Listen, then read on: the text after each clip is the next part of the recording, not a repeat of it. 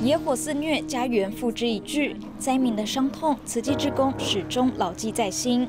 先前因为疫情严峻，援助计划被迫延期，如今终于能展开发放。急难救助金、近似资粮、毛毯与防疫包，面对面送关怀。It's beautiful when people smile. It's a beautiful thing. So yeah, I love that. Yeah, it's been thank you the generosity. Thank you.